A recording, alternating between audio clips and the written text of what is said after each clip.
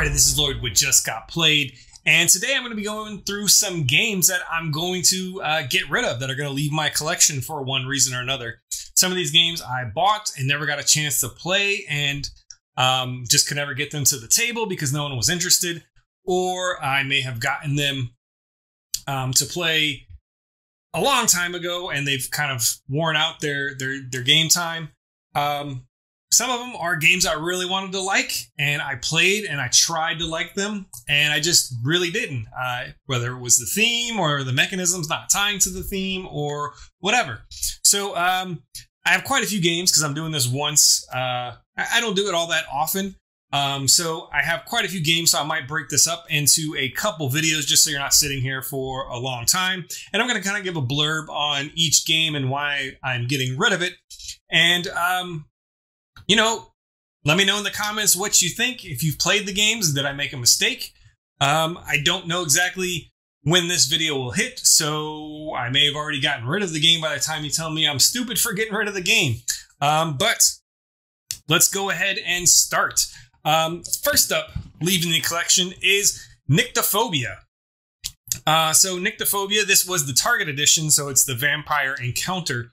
Um, this is a game that I got uh, shortly before the pandemic happened, and then because the pandemic happened, there was really no uh, way to play a game where you were constantly touching each other and having to rely on physical contact in order to play the game. So if you don't know what Nyctophobia is, um, one player um, is playing the killer, in this case a vampire, um, and everyone else are playing kids, teens, whatever, lost in the woods, and they are trying to find their way uh, to uh, rescue someone and then get back to the car. Now, the board is a map. Uh, it's like a maze, and it's made up of uh, shaped trees and whatnot. Um, and the players that are playing the teens can't see. They're wearing blackout glasses. Now you can kind of see from the sides, but they're blacked out, so you can't actually see the board. And the point of the game is to um, feel your way around and use stuff like um, throwing rocks and making sounds and stuff like that in order to figure out where the killer is, and the killer can see. So it relies a lot on the killer guiding the player's hands to their pieces um, so that they can feel, you know, within a certain area so they kind of know where to go and try to map out the maze of the board. Um, it's got a modular setup with the different maps you can make, and you can probably make your own maps. Um, but again, like I said, because of the pandemic, uh, because of COVID, this just never made it to the table and it's kind of in that time frame still so i don't know when this is going to get to the table. And um yeah so i'm just going to go ahead and pass it on and maybe somebody else that's got a you know a more close-knit group maybe a family will be able to play it and not have to worry so much about touchy-feely stuff and passing germs. So nyctophobia. Uh next up on my list is bioshock infinite siege of columbia so this was a game I picked up on a warehouse sale. I got it for really cheap. It looked really good. I liked Bioshock license. Um, this is a two or four player game. It is a um, area control, I believe. Uh, it's been a while since I read the rules. It is a very dense game. Um, so there's there's all this stuff with voting and um, you know trying to become the president or or the leader of the of the Bioshock Infinite of the of uh, Columbia, and it just I don't play a lot of two player games. It does you can play four player, um, where it's two on two, but again, this is just kind of one of those ones that's very dense um, to learn, and um, it has a really cool production value. Like it looks really neat. It's got you know blimps and all kinds of different size minis and dice and these you know nice boards and cards um, it's from Plaid Hat. So overall, it's it's got really good reviews and it's a decent game, but it's just one that I'm never going to get to the table. And I've had it for about three or four years now, and it's just never gotten to the table because it's too heavy for um, anybody that I play with, you know, at home. And then if I go to a game day, it's very rare that there's you know just two people sitting around not playing a game. So it, it just doesn't fit anywhere in my gameplay uh, circle. So I'm going to go ahead and pass this one on. Maybe someone else will get you know better use out of it or really love the Bioshock license. So that's it. Uh, Bioshock Infinite. Uh, next up, we're going to go with Fallout, a post nuclear board game for one to four players. Now, I like Fallout. I've played the old Fallouts, um, the old, you know, isometric ones. I played Fallout 3, Fallout New Vegas, Fallout 4. Um, I really dig Fallout. I like the post apocalyptic theme. I like what's going on in this game. It has a modular setup where you're exploring the wasteland and um, you're going around. It's it's kind of like um, Star Wars Outer Rim in that you know there's it's very narrative based. Um, you are going to level your character up. You're rolling dice to. They, they kind of brought over the VAT system, so you're rolling dice to shoot stuff, and it'll have like you know you shoot them in the arm, or the leg, or the head, um, and you're trying to get in good with um, a particular faction that you're dealt out. Um, and it's really cool. Like the narrative's good. It's got minis. It's a really good looking game, and you play as different character types, so you're not just you know a vault person. You, you can play as. Take a look at the back here. You can play as a mutant. You can play as one of the Brotherhood. You can play as a ghoul. So there's all these different cool play styles. Um, but I think what this suffered from is that it is a competitive game. And not only is it a competitive game, but you're playing also against the AI. Um, so the AI is playing and it's ramping up the game. And for a game that is very heavily narrative driven and story driven, it's forcing you through those stories as fast as possible. So you might have to choose to leave stuff um, on the table and just not explore it because you don't have time because you need to keep up with the AI that's moving the the the game timer forward. Um, and because of that, it doesn't let you live in the world. And because you can't live in the world, it kind of falls flat on the theme. Now I know they put out a an expansion, but I just couldn't justify getting the expansion hoping that it would fix the base game. And the reason why I said the problem with it being competitive is because if you have a couple players playing, or it goes up to four, um, the quests, unlike in Star Wars Outer Rim, the quests are not locked to the player who drew them. Not all of them. Some of them, I believe, are. But if I flip over a card that says, hey, you need to go over to this tile, find this tile, and that's where you're going to find, you know, Vault 13. The Vault 13 token goes out, and then anyone else can go find it and pick up the rest of that um, storyline and complete the storyline. Or I could complete three quarters of the storyline, and someone could be right next to the ending part and just finish it off. Um, and the problem with that is that completing storylines will, you know, give you boosts to your faction. So you're racing against the the the AI, you're racing against another player, and then on top of that, when you do a quest, it's not even your quest. Like it, and and again, some of them could be, you know, private quests that you get, but most of them are public information, and anyone else can just go, you know, crash into your quest and take it over. Um, and that to me is it just kind of defeats what the game is supposed to be about, which is this heavily narrative driven game. So because of that, um, although it's really cool, it's got a lot of cool stuff going on. You get the special marker, you know, like in, in the game, you get the special so you can level up, um, just like the game. You equip stuff, you're doing all kinds of fighting, you're exploring. It's really cool, but they it seems like they just fumbled it on that that AI, um, you know, ramp up of the time where you're constantly, if you play it by yourself so you can complete everything, you know, you're still playing against that that timer that's just ticking forward and forcing you to do stuff. And I really want to live and breathe in the world. And I think there's some some uh, fan made stuff that will, you know, kind of break it down and and fixed some of that and made it more of a co-op and kind of backed off the thing. But I never gave it a shot um, just because it just seemed like more work than what was there to to begin with.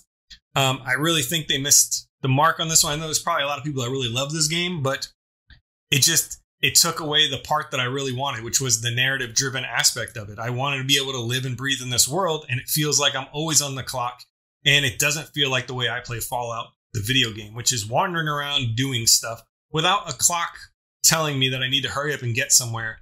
Otherwise, the game's just going to end without so, um, yeah, Fallout.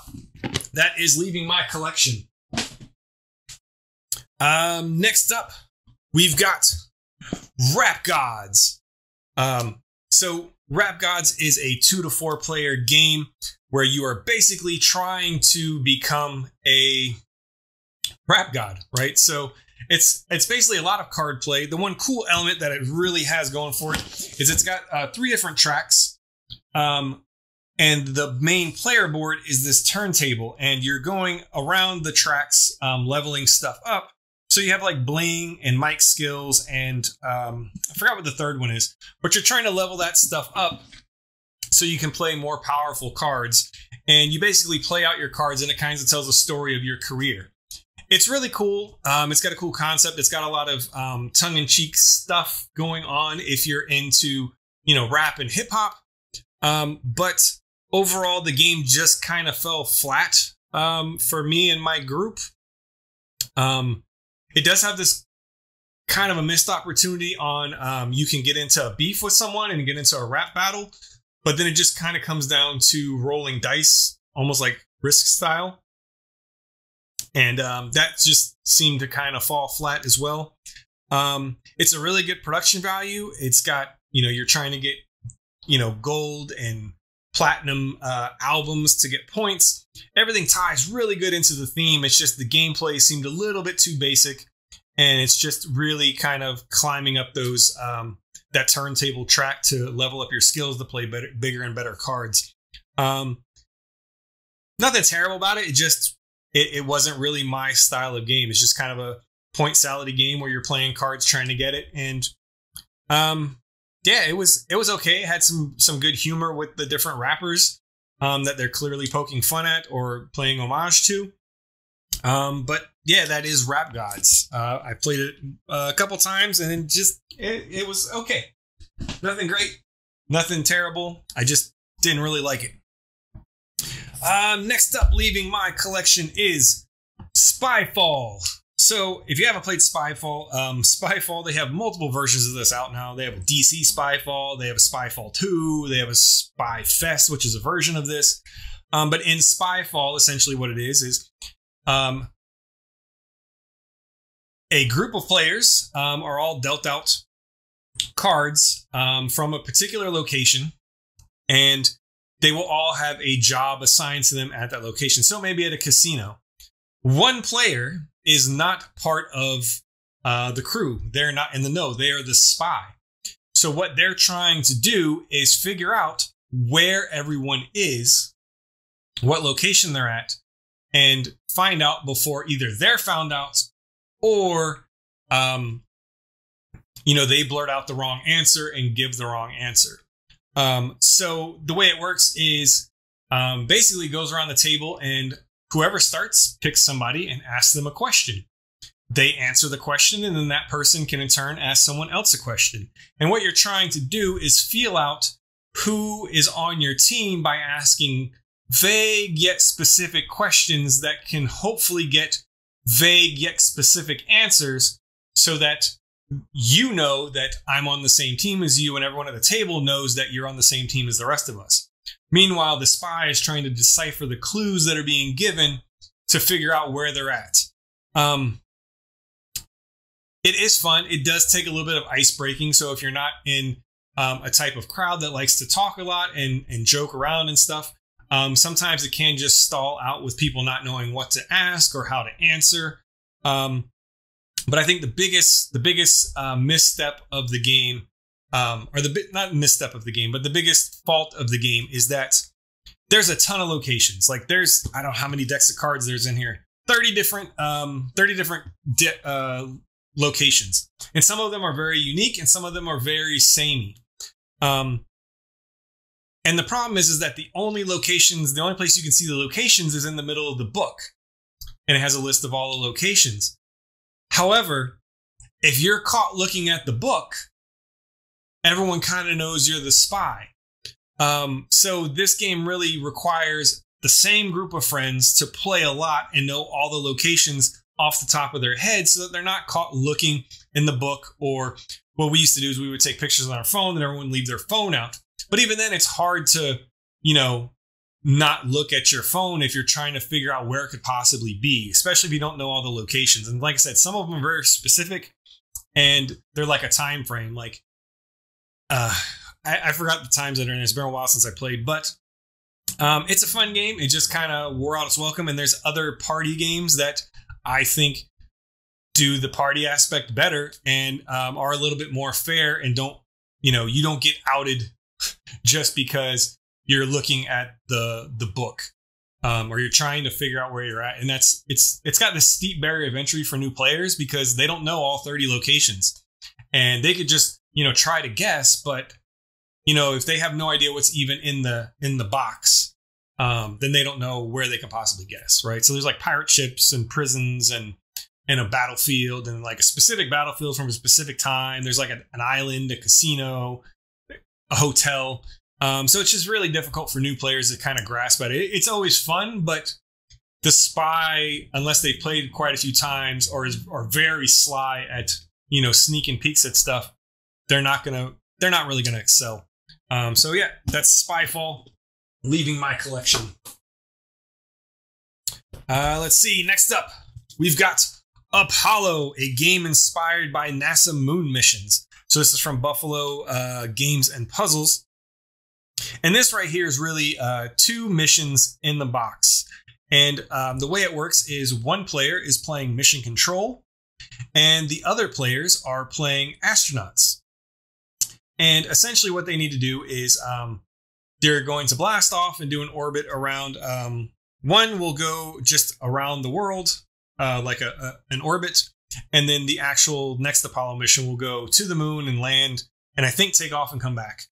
Um, mission control um, will be drawing cards to like deal out different um, scenarios that need to be solved and the players um, get to roll dice and try to solve the puzzles and solve you know complete the missions within a specific time frame so as they move through space each like space they move is a turn and when they hit certain spots they need to be um, through a particular set of missions Otherwise, it's an auto fail. So um, it is a fun game.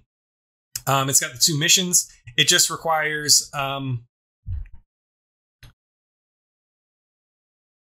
it doesn't really require anything special. It just it's it's less a game and more a puzzle, and it really doesn't work um, with just uh, you know two people. It works better when you have three or four people playing.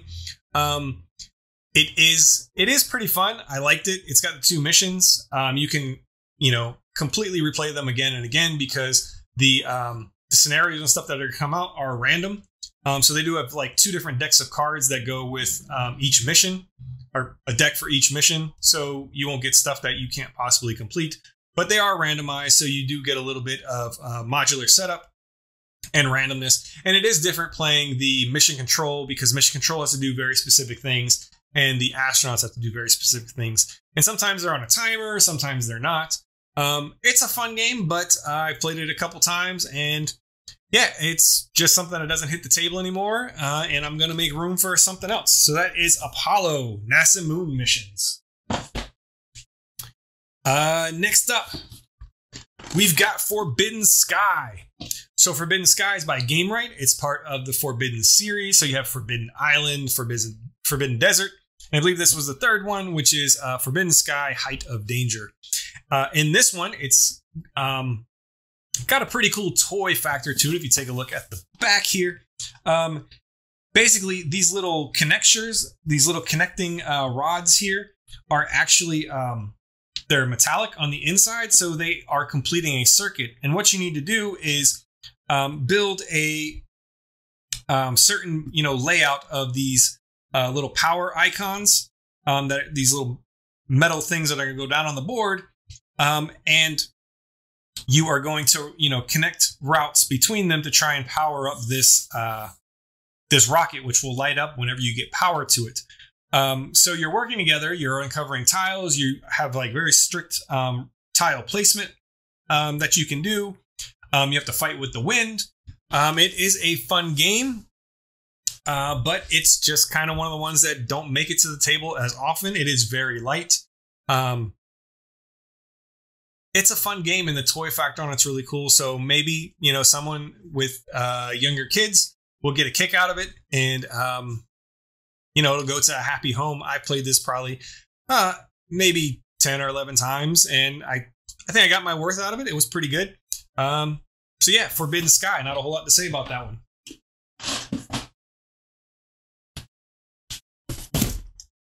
Next up, we have Wonder Woman Challenge of the Amazons. And this is coming, if you can see behind me. Um, I have a lot of Ravensburger's games. Um, I like the the IP tie-in and the fact that they're typically around 30 bucks. I did get this one on clearance. I waited for it to go on clearance.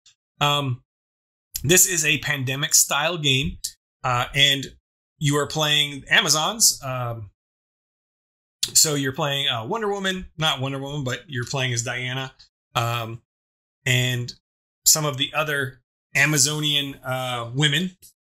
And then you have three different bosses that all do something slightly different. And essentially, what you're trying to do is um, stop things from, you know, clearing threats off the board like you would in Pandemic. Um, but you get cards that allow you to um, do specific actions on your turn. And um, the way the cards work is down at the bottom, they have different icons on them allow you to move or fight or, you know, learn or gather troops. And the the catch to this, the the draw that I thought was going to be really cool was that um, it's got two phases to um, the game. So it's a co-op, um, and typically in co-op you have all this open information. But the way this game works is it breaks up the the player phase into two phases. So at the the first phase, you're going to deal out uh, three cards to everyone. Now some players get different, you know, loadouts of cards during this time, but um, they're going to get three cards dealt to them um, they're going to uh, look at their cards, or maybe it's more than three cards. They get some cards dealt to them. They're going to look at their cards. They're going to coordinate with their their uh, teammates, and they say, "Hey, I'm going to go over here, and then on my second turn, I'm going to do this, and then I'm going to go over here and do this." And everyone kind of works together, showing uh, you know planning and strategizing. Then once that phase is done, you put you lock your cards in, uh, you put them down, uh, you don't lock them in yet. You put them down, and then the uh, the next phase starts, which is like the tactics phase, where this is you're in active battle. So you get a couple more cards, and now you may get better cards that change what you want to do. So maybe before you couldn't move, and now you want to move, but you've already told your your teammates like, "Hey, I'm going to stand here and fight these guys, um, and then I'm gonna I'm gonna raise some troops." But now you got this move card, so it's going to allow you to go somewhere else and maybe pick up one of the artifacts or go hit the boss. Um, so you've told your your teammates what you're going to do, but now you're going to do this other thing because it makes more sense, to, uh, you know, strategically or tactically. Um, and then you're going to do that, and then when it, whenever it comes time to actually do the the fighting or the the, the you know the the resolution phase you flip over your cards and it's like it's like a programming all right? So you flip over your first card and then everyone does their thing.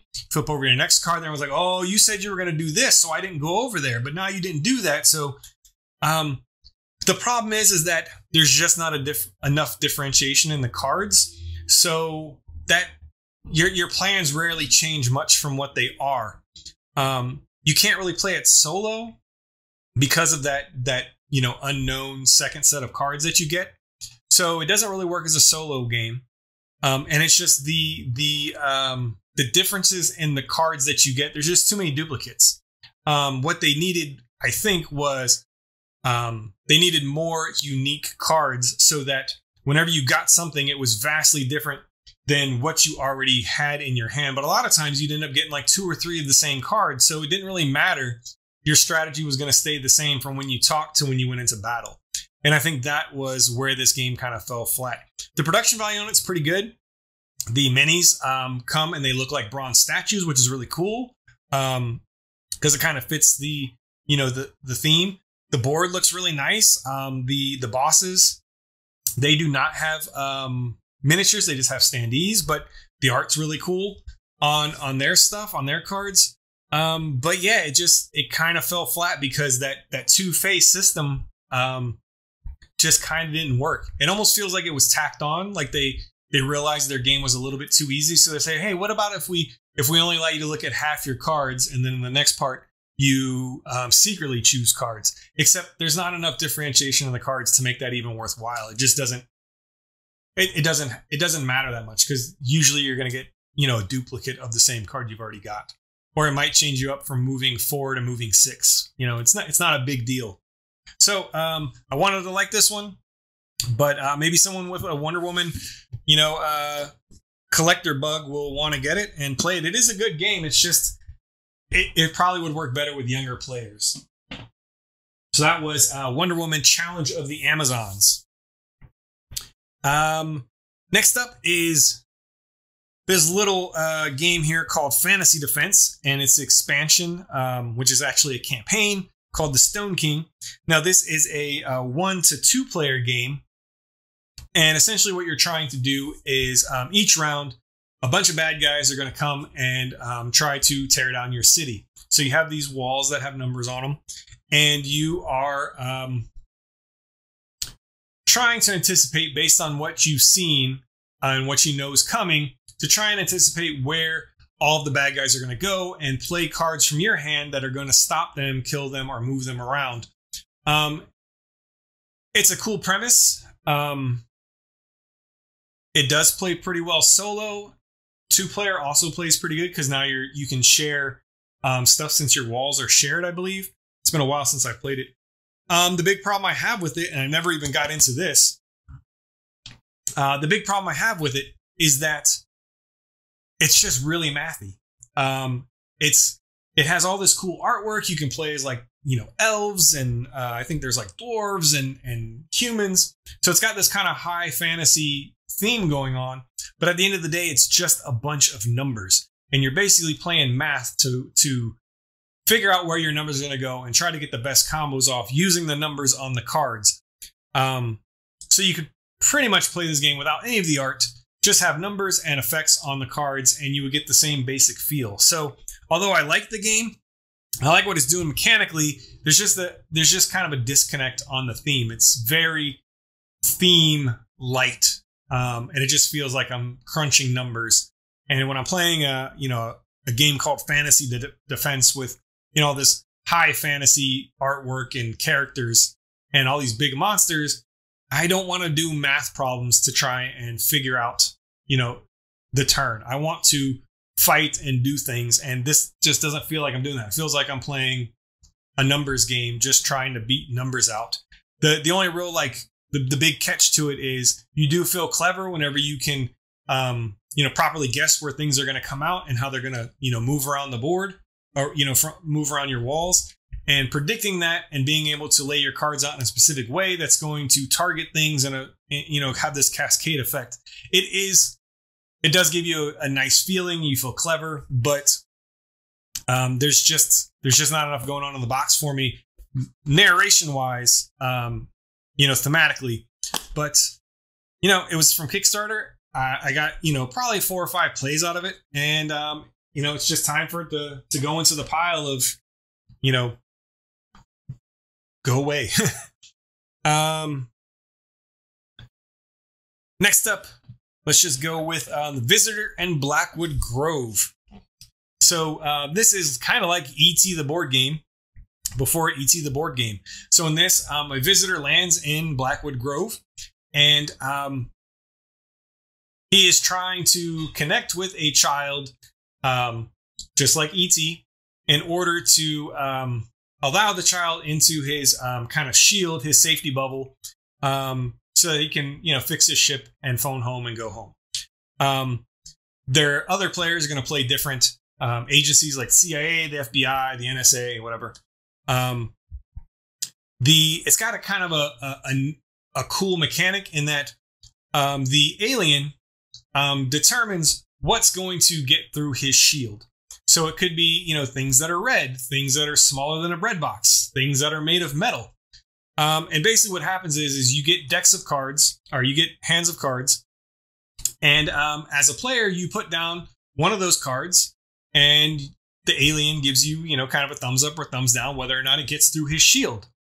And um, the players are trying to figure out what exactly gets through the shield. So if it's things that are made of metal and somebody puts you know, a um, a car down. The car has metal, it has rubber, it has glass, it has cloth, it has an engine, it's a machine. Um, so that only narrows it down to well, these things I know could possibly get through. So then another player may play, you know, something that just has an engine or something that's just metal, and then whether or not it passes, you know, you, you're ruling stuff out.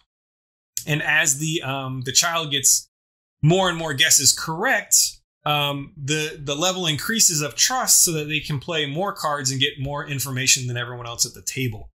Um, and then basically the way the game ends is one player decides to make a a guess and um, gets a handful of cards, puts a bunch of them out, what they think will pass, and then the alien says yes or no. The the kind of the problem with it is is um, it's got a lot of gray area for what the alien can decide passes or what you agree on is in the artwork.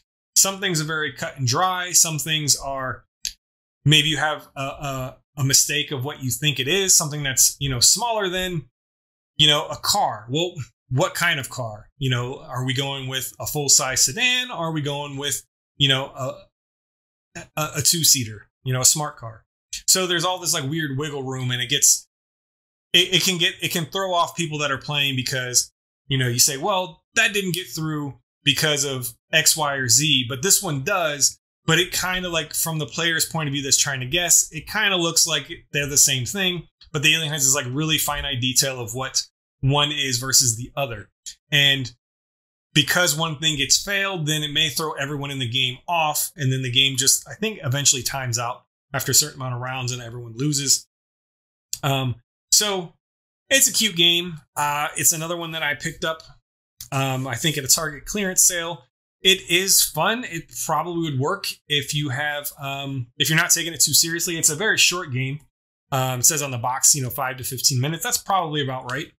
Um, but it's just, you know, it's, I have other party games that do this better and aren't as complicated to explain um, and have a better, you know, kind of reward payoff.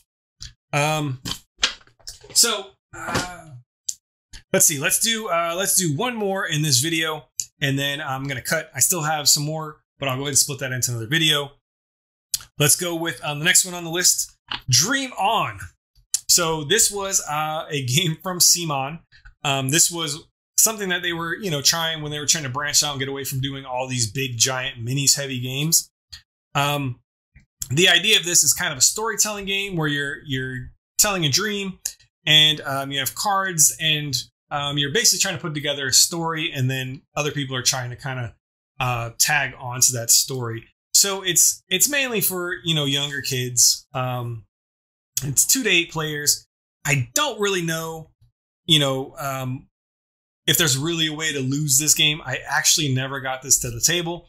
Um, i played it because there was a time when we had, you know, a lot of younger nephews and nieces, and we were always looking for something to play. And I figured, you know, this is something that's cool um, to to try out. Um, it's a co-op game, so there's no like us versus them. Everyone kind of works together. Um, but it's just kind of sat on my shelf for years. Um, I did get this at a warehouse clearance sale, um, I think, um, and I figured, oh, I'll give it a shot. Um, it's got you know cool, cute artwork on the cards.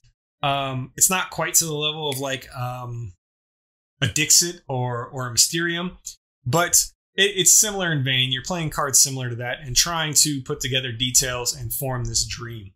Um, so it's kind of like a, a storytelling game. It's just the nieces and nephews have grown out of it before I ever really got a chance to play. Like, and on the box it says it's seven plus. So I'm hoping maybe this will pass on to someone who has you know, younger kids and will want to give it a shot with their kids and, you know, maybe they'll have a good time with it. But that is Dream On by CMON So I think that's where I'm going to end this video. Um, I do have some more to get through, but um, that was the first wave. So I think I'll just stop it there. Um, if you've played any of these games and you you think I'm wrong or have the wrong opinion on why I shouldn't get rid of them or why I should like them, hit me up in the comments. Let me know. Um, as always, thanks for watching. Be sure to like, share, subscribe. Check in the description notes below for uh, a link to our Discord. Come over and chat with us and tell us whatever you want to tell us. Are you with us about games. Tell me why you think I'm dumb for getting rid of some of these games, or if you think I'm spot on, or whatever. As always, thanks for watching and happy gaming.